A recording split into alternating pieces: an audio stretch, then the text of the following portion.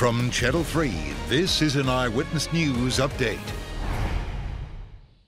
It is Thursday, July 16th, and I'm Kara Sundlin. We have breaking news we're covering today out of Glastonbury, where a mother and her toddler were injured in a drive-by shooting. Police are now searching for two suspects said to be driving a dark Ford Explorer. The car call came in about 10 this morning. Police say there are no other victims. We'll have more on this tonight on Eyewitness News beginning at 4.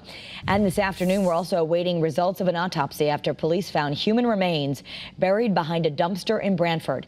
The victim has not yet been identified, but this could be connected to the search for a missing mom from East Haven. She was last seen two weeks ago. We're bringing more information on this case later on today on air and on our Channel 3 app as we learn more.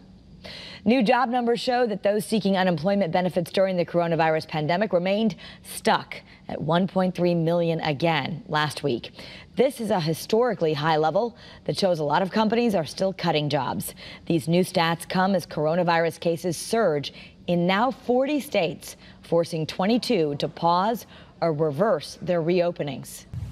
Right, and weather-wise on our Thursday, like yesterday, temperatures running below average, topping out in the upper 70s and low 80s. It's going to be a bit of a brighter afternoon, partly to mostly sunny.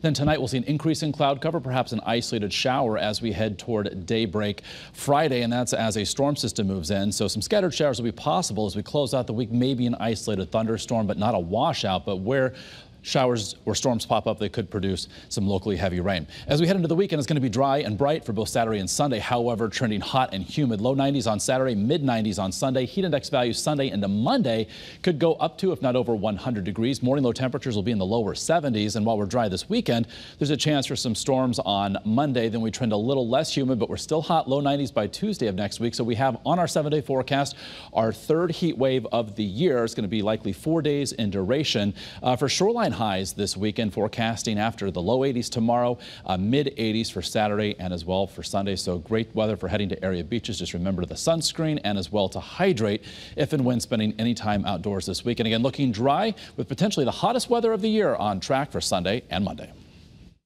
Eyewitness News is everywhere. Get the latest in-depth headlines anytime on the Channel 3 streaming news app.